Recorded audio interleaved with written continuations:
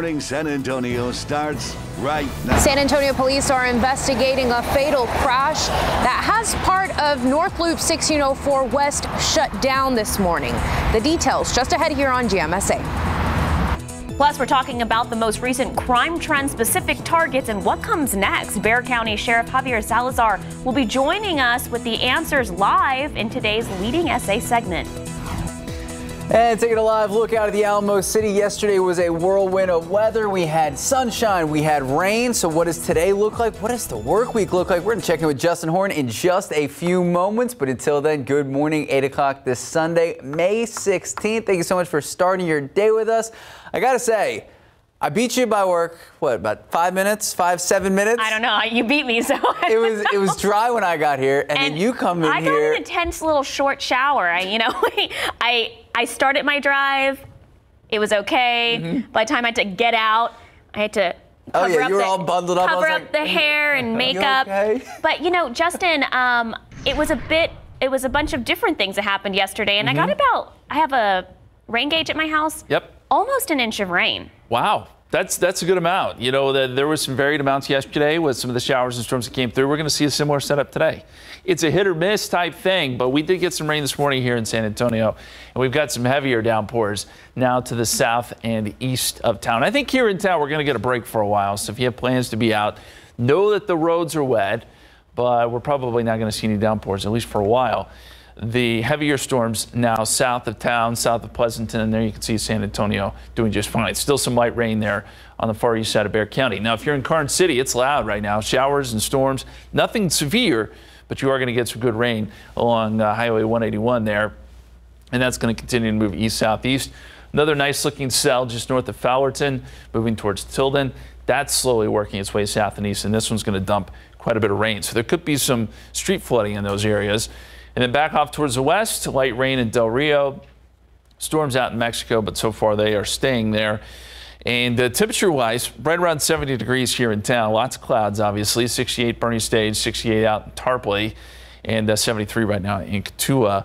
Forecast for today, we're going to keep some rain chances in there, although I think the best chance will be east of I 35, about a 40% shot. Temperatures low 80s. And we're looking for more rain down the line. Some storms, especially on Tuesday. We'll detail that forecast here in just a few minutes. Guys. Thank you, Justin. Something we've been covering throughout the morning. The city's north side, there was a crash. All lanes north 1604 Loop West at Blanco had to be shut down for several hours. Authorities responding to a deadly crash. Alicia Barrera has been at the scene all morning long. She joins us live now. Alicia, do you have any updates from police? Well, authorities managed to clean up the scene in less than three hours, but the investigation is far from over. Really, it's only beginning. We still are waiting on official confirmation of what happened, but here's what we saw when we've been here uh, throughout the morning. Earlier, we had mentioned that two vehicles were involved. However, the sedan that was here earlier drove off about an hour or so ago, signaling it may have not been directly linked to the fatal accident. It's the white truck that had a lot of damage to the front end, but it's unclear what led to the crash. Here at the scene, we saw the body of the victim just a couple of feet in front of that white truck. That white truck has been towed away. Investigators continued with taking measurements throughout the morning and, of course, surveying the area for any evidence that will help them piece this scene together. During our time here, no driver was in sight, and at this hour, still no information on who that fatal victim is. All we know is that one person died here on the scene early this morning and was transported to the medical examiner's just uh, medical examiner's office just a few moments ago. The scene is now clear. The highway is open once again. Again, it was closed off for about three hours, but investigators here at the scene have done their job, so drivers are able to make their way through. Max Sarah, back to you. Thank you, Alicia. Well, a man was also hit by a car early this morning in the 8500 block of South Presa Street around 1:40 a.m. Police tell us the man and his girlfriend were arguing at a bar. That's when he left. Officers say the woman and several of her friends got into a car to look for the man. Police say at some point the driver lost control of the vehicle and the passenger grabbed the wheel. The car then ran into the man and a guardrail. The man was taken to a hospital and is in critical condition. The driver was arrested and is facing intoxication assault charges. San Antonio police asking for your help trying to find a suspect responsible for the death of 31 year old Gary Smith. So take a look. The incident happened back on May 5th at the Oak Manor Apartments on Austin Highway. Police tell us Smith was sitting in his parked vehicle when a Nissan Altima pulled up behind him. That's when someone inside the Nissan started firing several gunshots, killing Smith. Anyone with any information is urged to call Crime Stoppers. That number on your screen, 210-224-STOP. You could be eligible for a reward of up to $5,000. Well, members of an Eastside church community gathered this weekend to say guns have no place on their streets. The advocacy group Moms Demand Action joined forces with the Stop in the Name of Love movement for a rally at the Greater Faith Institutional Church. Their goal to promote gun safety awareness. The Stop in the Name of Love movement actually formed as an effort to end gun violence in response to a February 7th shooting that happened at that exact church. Gun violence has become a part of our daily lives, and we need to work together to find the best solutions to prevent that and to make San Antonio safer. San Antonio Police Chief William McManus also attended the rally, saying, although violent crimes have taken a dip, the dangers associated with gun violence are still very much a threat to everyone. He says there needs to be a combined effort between communities and law enforcement to keep violent crimes on the low.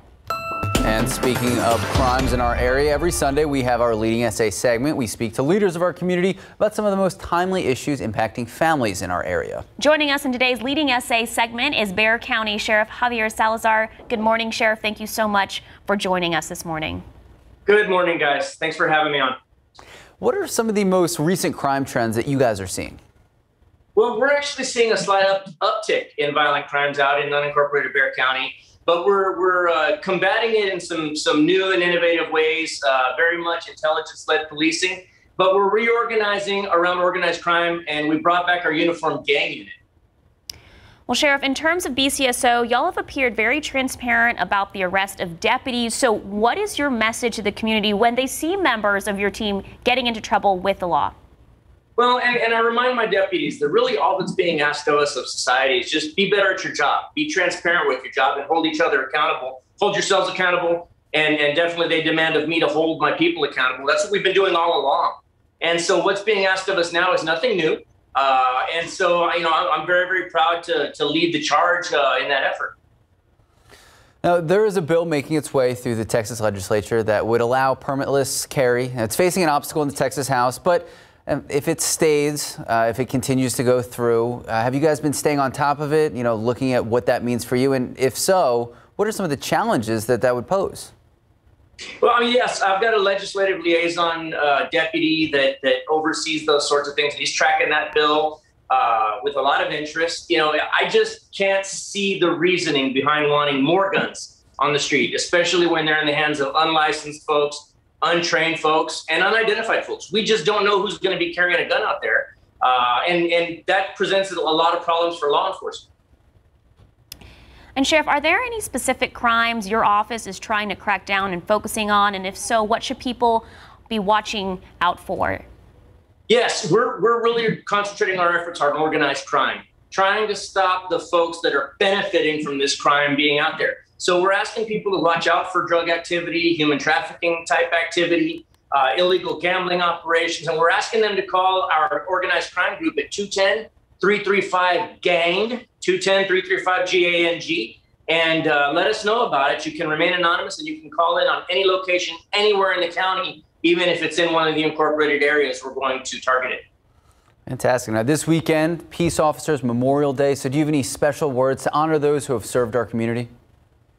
Just uh, thank you for your service, uh, whether you're military or a first responder. Uh, thank you for your continued service. And we want the public to know that we very much appreciate the support that we first responders uh, have here with our community. We've got a very unique uh, connection, which when, when other people, other first responders from other parts of the country come here, they make note of the fact that it's a very, uh, very interesting and very supportive relationship. And so just thank the community for their continued support of us. Well, Sheriff, thank you so much for taking your time to join us this morning. And our viewers, they can watch this full interview on ksat.com later this morning. Thank you, Sheriff. Bye bye. Time now is just about 8:10, 71 degrees out. We'll still head on GMSA. A local cafe is filling more than customers' bellies. We'll show you how the heartfelt note someone left behind for employees at Comfort Cafe. Well, as an Air Force pilot and his daughter guiding him in to his last ride, we're going to give you a look at a special moment that he shared with his family. And getting into the fiesta spirit from the comfort of your own home, we'll tell you how to enter the first ever porch parade contest. Whoa, you got a head start. We did. The rain, though, melting those mm. decorations. We're going to check in with Justin Horn for your full forecast in just a bit.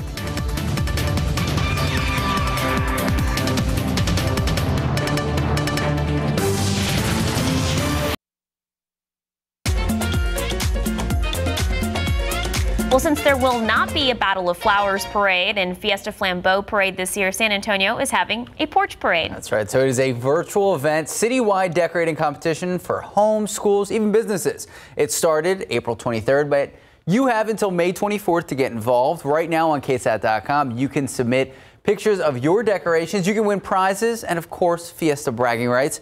We're going to announce seven winners on Friday, June 18th all during KSAT's Fiesta Special. I want to see pictures of the porch you've decorated. Okay, it's it's very simple. it's a homemade wreath that I made, and okay. Just, you know some regular uh, banners, but. I was really concerned, Justin, because about putting like certain like piñatas or any paper materials out because they'll just be washed away. I mean, that's that's a fair concern. yeah, uh, uh, your porch is still intact, though, right? I yeah, mean, my porch is still Still doing okay. Yeah, the, the rain was a little heavy this morning, so you may have to move some of those decorations inside. It's going to be a fairly wet week, I'll warn you there, as we go forward in time. But here's the situation right now. Showers and storms pushing south and east of San Antonio. The threat is over here in town. The rain, for the most part, is over, but we still have wet conditions, damp conditions out there. If you're heading out the door for church this morning, everything looks just fine. You may not even need the umbrella. Uh, but if you're watching us from Gonzales, or down towards Fowlerton. That's where the rain is pretty heavy, right along I-37 between Pleasanton and down towards Corpus Christi. A little closer look here at uh, Seguin. Still some light rain holding on, but that's starting to move away. And then Floresville, same story. A little heavier rain, though. Karnes City, in fact, quite a bit of lightning. That's electrical, so it's going to be pretty loud there. This activity is slowly moving north or south and east, I should say, dropping heavy rain along the way. And then there's that other cell, Fowlerton over to Tilden. That's where there's a good cluster of lightning strikes here. That tells us there's some very heavy rain there. Also moving off to the south and east. And checking in on Del Rio, just some light rain at the moment. What's uh, left over from a storm out there in Mexico, bringing some light rain there into parts of Del Rio, but that should be winding down fairly soon and it looks like we may get a little bit of a break in the action. The atmosphere gets a little worked over this morning, and then as we get into the afternoon, there could be some more showers and storms, mainly east of San Antonio, I think, today. Showers ending right now, cloudy skies out there, a few peaks of sun, and then storms east of I-35 this afternoon, as we mentioned, and then we'll be watching for some severe weather tomorrow, but more so on Tuesday. The threat is there. Temperatures right now 71, east southeasterly winds at about 8 miles per hour. 71 Helotes, 71 Randolph, 72 in New Braunfels, some 60s up in the hill country, 68 right now in Bandera, 70 Carrizo Springs, 72 with some light rain out in Del Rio. Here's the big picture, and we've got a piece of energy coming across the state, and that's helping to kick off some of these showers and storms this morning.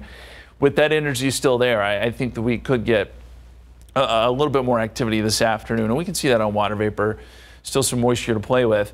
Behind this, there's a bigger system out over California. Now, this is going to be moving in on Tuesday, and this is what I think is going to help to kick off some severe weather Tuesday afternoon. Forecast looks like this. Uh, 4 o'clock still shows some showers and storms east of I-35. Also watch for a couple storms developing out in Mexico.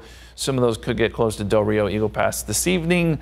Uh, and then as we get into tomorrow, this model doesn't show much, but if we were to get a storm tomorrow, it likely would go severe. The setup is there for that. So we'll keep a close eye on the radar. Don't think we'll see a whole lot, about a 20% chance. But as we get into Tuesday, we get some upper level energy moving in, and this is where I think we can see some pretty strong storms. We'll be on the tail end of things, but if we are to get some storms on Tuesday, they'll likely be strong to severe. So that's something we want to watch In addition, we're going to have to look out for heavy rain, too. A lot of rain with these storms.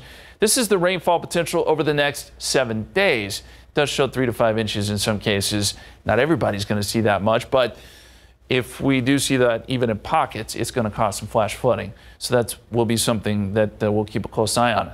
40% chance of storms today, mainly east of I-35. Temperatures will be right around 81 degrees here in San Antonio. 88 tomorrow, 86 on Tuesday with a 70% chance of storms. Looks like we'll keep that going on Wednesday too. And maybe tapering off a little bit Thursday, but picking back up Friday, Saturday. So there is still not a day in our seven day forecast in which we do not have rain chances, guys. Jeez. All right. Very active forecast. Thank you, Justin Horn. 818, 71 degrees out. Well, still ahead, a celebrity auction benefiting impoverished children continues today. Details on the Janet Jackson items that are up for bid. And after the break, an Air Force pilot getting an unexpected surprise during the last flight of his military career. What he has to say about the heartwarming moment. Take a look at some of these lotto numbers. Pick 3, 104, Fireball 7, Daily 4, 4823, Fireball 3. And your cash 5, 3, 7, 10, 19, 32. Lotto Texas 8, 15, 23, 24, 42, 44. Powerball 4, 10, 37, 39, 69. Powerball 24, Power Play 3. Did you win? No. Okay. Well, someone might have.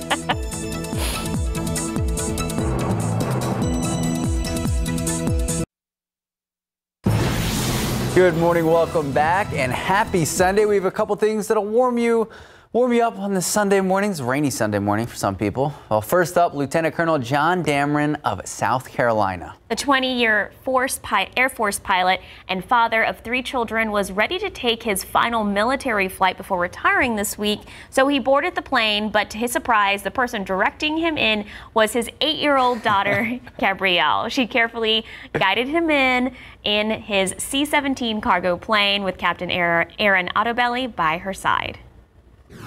I was so glad my family and friends were able to be there and share it with me. So after dad came off that plane for the last time at Joint Base Charleston, his sons Seth and Sullivan welcomed him home with an Air Force tradition being sprayed down by water hoses. So we want to wish John a happy and healthy retirement. Well, back here at home, the Comfort Cafe on Bandera near Northwest Loop 410 is providing comfort to some of those in our community. In more ways than one. Really an amazing story. It's on ksat.com. If you haven't seen it yet, was reading it this morning, shared a note that workers received from a customer who was more than grateful for their service. The customer seemed to be going through a rough time, going through a hardship based on the context of the note, but said the cafe's food and welcoming environment left them in higher spirits. The note reads as follows. Thank you all for what you do for us, the crippled and the broken. Today was an extremely hard day for me. Got bad news last night.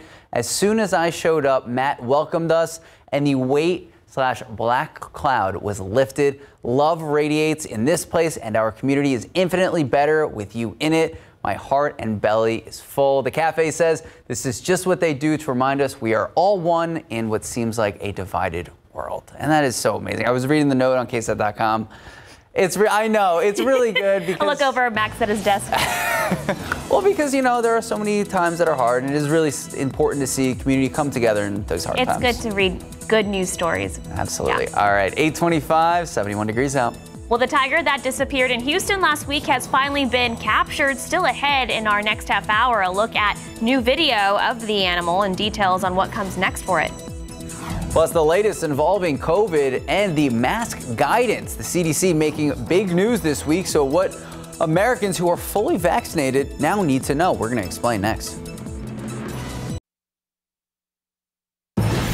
Good morning. Welcome back and happy Sunday. I'm Max Massey. I'm Sarah Acosta. It's May 16th. Yesterday, we celebrated Max's birthday here on the show. Happy birthday again. Yeah, I appreciate you not saying the number. That's good. We won't I will say, say, yesterday there was a lot of jokes. Oh, happy 21st birthday. People at home took that seriously and reached out don't to me on, flatter social, yourself, on Max. social media, being like, "Are you really only 21? We don't need to get no, into that." No, he's not, but that's fine. Apparently, he also talks about himself in the third person. Either way, yesterday rainy and some sunshine. Justin, what can we expect today? Oh man, I uh, hope you had a good birthday, Max. But Uh, yeah, a little bit of rain yesterday. We picked up some good numbers south and west of San Antonio. Seeing some more heavy rain now. In fact, we just now have a flash flood advisory coming out for Karnes County. Here's why.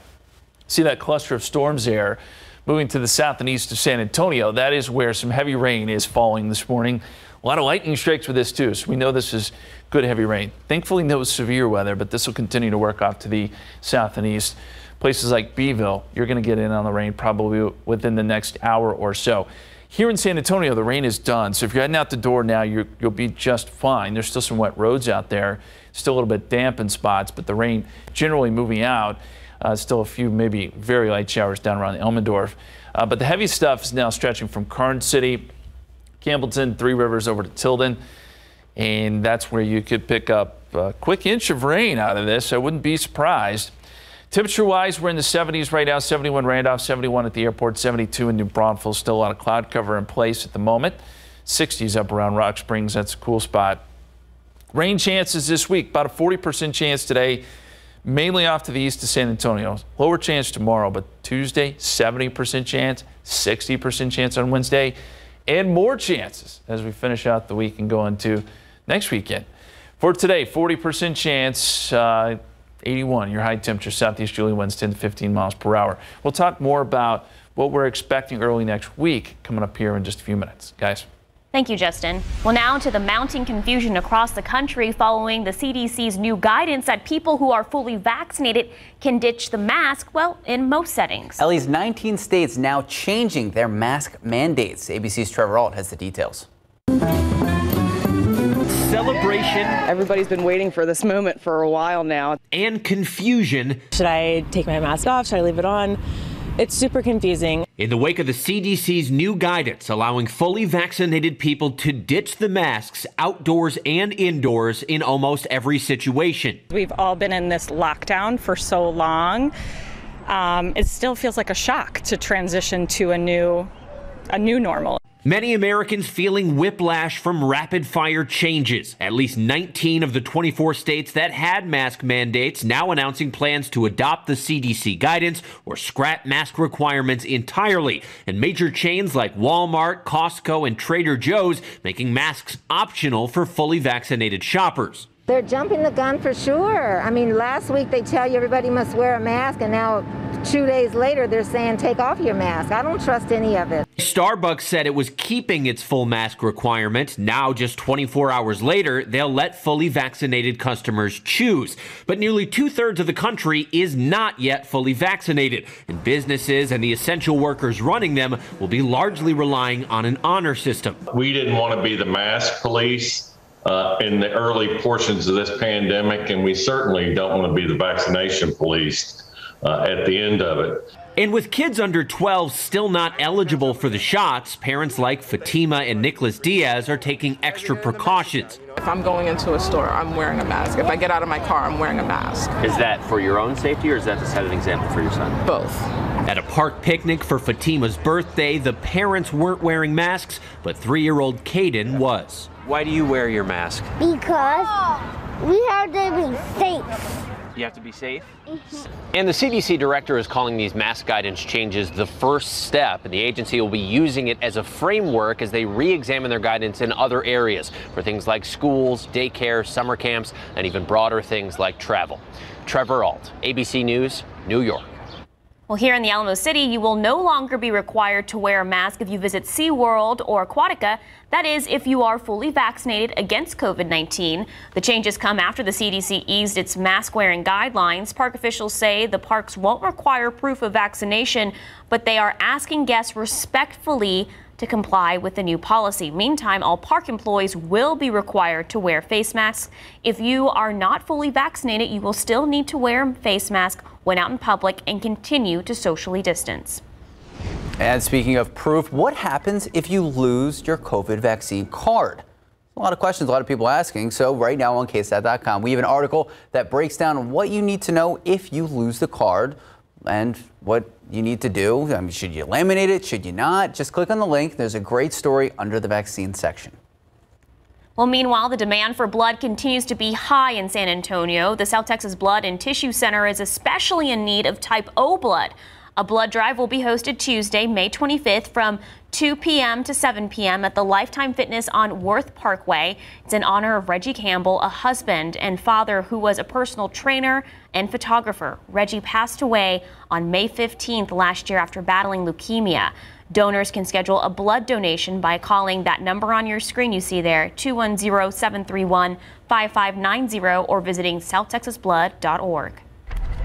In your morning headlines, a major train crash yesterday afternoon near Minneapolis. Union Pacific says 28 cars derailed next to Goose Lake. Two of the derailed cars are leaking hydrochloric acid, which can be toxic and cause severe chemical burns.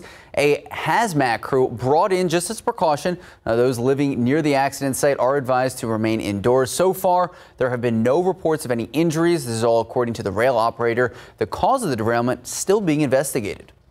Well, the operator of the nation's largest gas line pipeline that was hit with a cyber attack says it has resumed normal operations. The Georgia based Colonial Pipeline began the process of restarting the pipeline's operations on Wednesday evening. The company warned it could take several days for the supply chain to return to normal.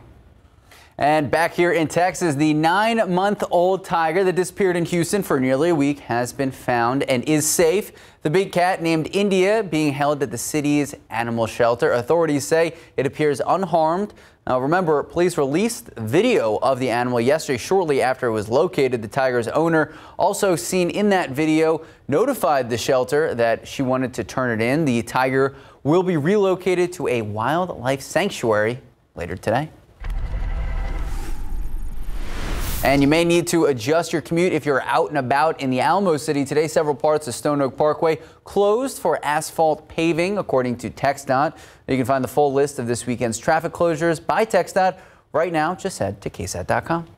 Well, the first annual Southside Book Fair kicks off today. It runs from 11 this morning until 3 this afternoon. It will showcase up to 20 award winning authors from the Southside and throughout Texas. The authors will also be autographing and selling their books. If you're interested in attending, the book fair will be hosted by Brewster's Backyard Ice House. It's located on 815 Pleasanton Road. All right, time now is 837, 71 degrees out. Well, Tim Duncan was inducted into the Hall of Fame last night. Yes, it was such an emotional moment for the entire class of 2020. Obviously, Tim Duncan's Hall of Fame. It has been decades in the making, and we saw some very familiar faces. I also have an inkling this is not going to be the last of that Spurs dynasty that we're going to see enter the hall. We're going to hear from Tim Duncan and give you some highlights from the Suns game what should have been a game from yesterday. It was a blowout. Surprise. Oh, jeez. All right. Well, Chrissy Teigen, she's apologizing for harassing another celebrity oh. online. What she is now saying about her actions. Hmm. And let's take a live look out of the Alamo City. 71 degrees to start your Sunday morning. We had some wishy-washy rain yesterday, some sunshine too. So what is the rest of the day? What does the week look like? We're going to check in with Justin Horn in just a bit.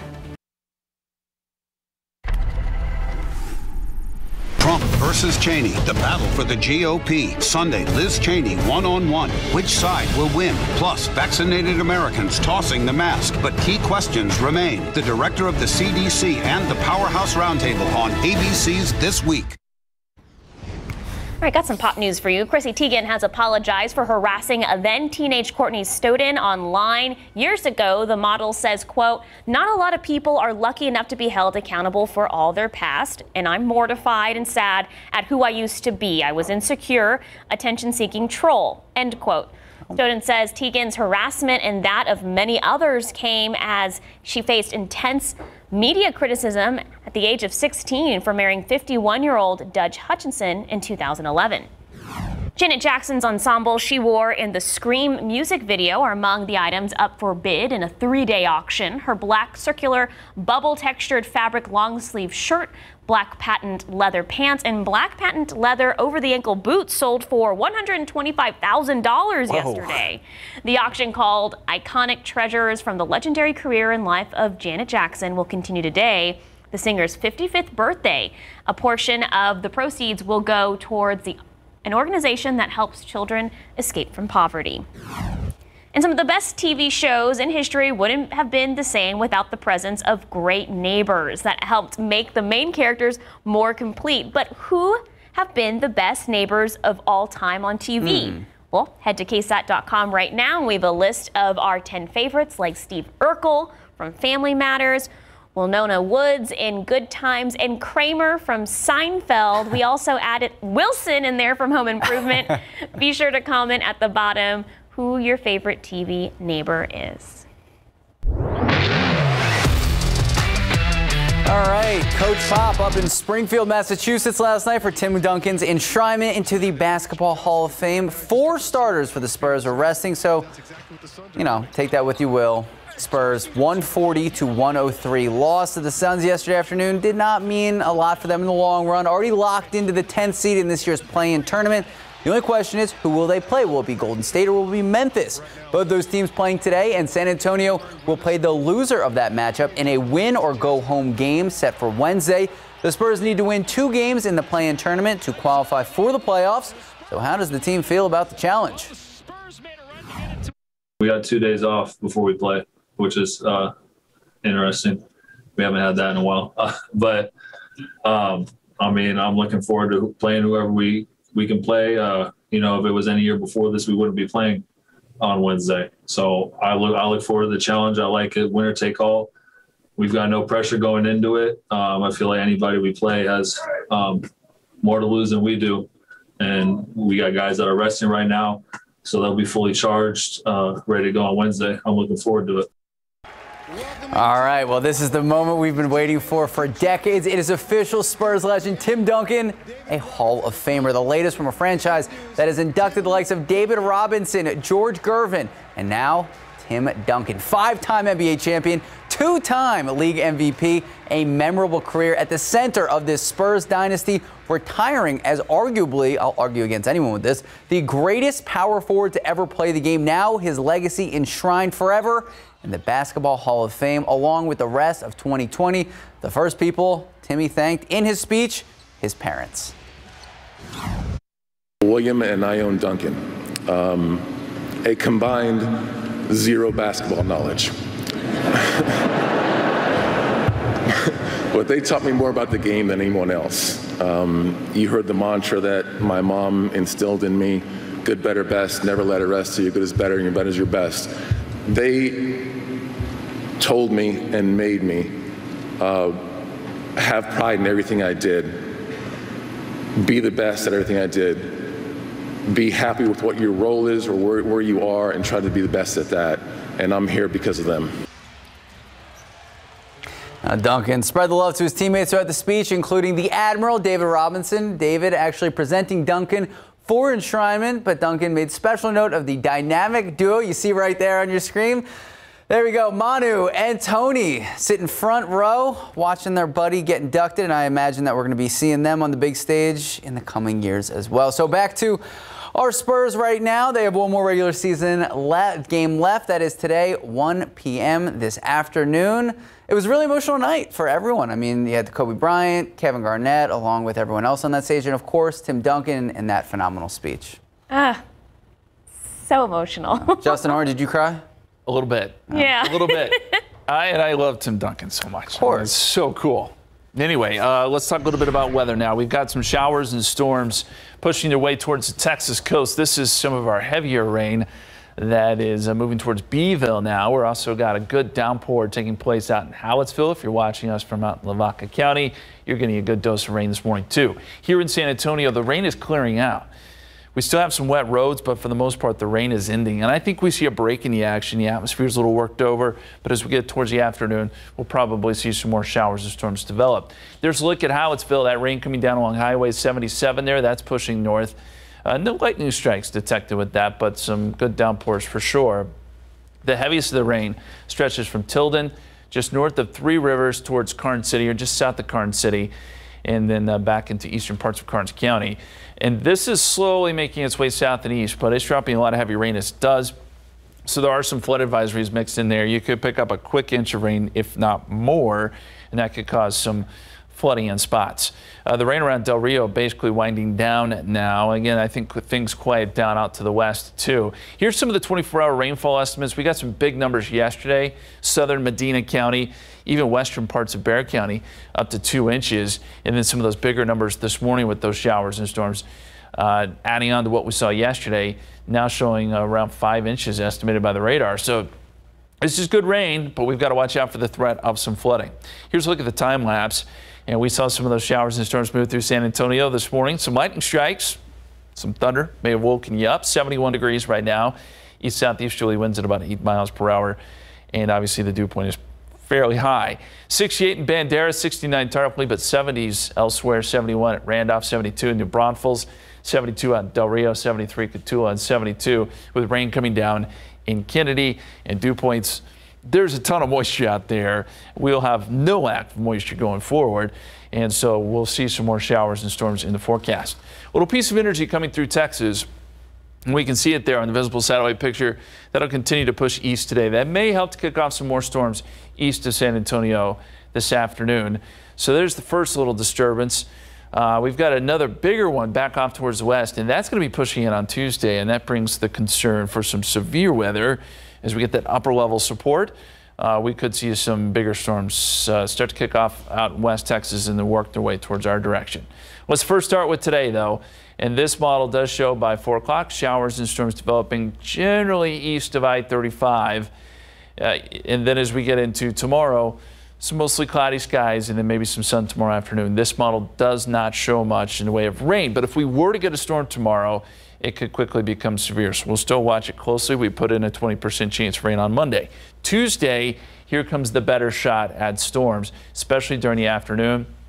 We could see some strong to severe storms. Now, we will be on the tail end of things, I think, but uh, we still very well may be in the line of fire. So we're going to keep a close eye on Tuesday afternoon, too. On top of the severe threat, there is a threat for some heavy rain. Rainfall potential over the next seven days shows some big numbers, three to five inches in some cases. Not everybody will see that much, but uh, we have to watch that too. 81 degrees today, 40% chance of rain. Again, mainly east of I-35. And then we'll go 88 tomorrow, 20% chance of rain, 70% chance Tuesday, 60% chance Wednesday. In rain chances even continue into next weekend, guys. It's going to be one of those weeks where you just know there's going to be constant like trickle of mud and puddles when you walk in. Keep a towel and your umbrella right by the doorway. Thank you, Justin. 850, 71 degrees out. Well, do you or someone you love still have questions about getting the COVID 19 vaccine? Tomorrow on GMSA, what a mental health advocate discovered that helped her overcome her fears. And before we head to break, want to wish Hannah Ross a very happy birthday. 102 years young. Remember, you can post your birthday pictures, ksat.com slash birthdays. Remember to include a name and an age, and you can see yours right here on GMSA. A fatal crash forces authorities to shut down all lanes at Blanco and North Loop 1604 West early this morning. Here at the scene, we saw the body of the victim just a couple of feet in front of a white truck. The white truck had a lot of damage to the front end, but it's unclear exactly what led to the crash. The white truck has since been towed away. Investigators continued with taking measurements and surveying the area for any evidence that will help them piece this scene together. During our time here this morning, no driver was in sight, and at this hour, still no information on who that fatal victim is. All we know is that one person died here on the scene and was transported to the medical examiner's office earlier this morning. As of right now, the scene has been cleared and the highway is open once again. Reporting on the city's north side, Alicia Barrera, KSAT 12 News. And rain has come to an end here in San Antonio. Still watching some heavier storms, though, down to the south and east of town. Those will continue to work towards the Texas coast. And the extended forecast 88 tomorrow, 86 on Tuesday with a 70% chance of storms. We'll see more chances throughout the week and into next weekend, guys. All right. Justin Horn, thank you so much for joining us Glad today. to be here. Yeah, happy to have you on Sunday. And thank you so much for watching. Have a great rest of your day. Try to stay dry. Have a good Sunday.